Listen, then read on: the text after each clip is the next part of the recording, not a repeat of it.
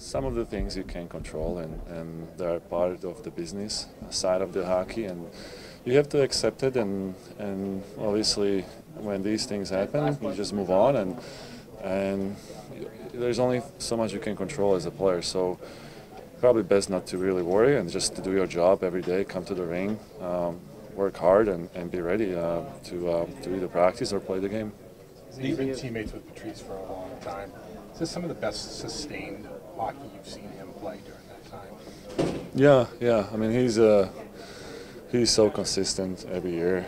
Um, you know, it's a special to have a player like that that gives you that stability, um, that performance every every day. Um, you know, we've been together probably longest from all the all the players here. Um, and obviously it's been uh, an absolute pleasure and honor to, to have him as a teammate.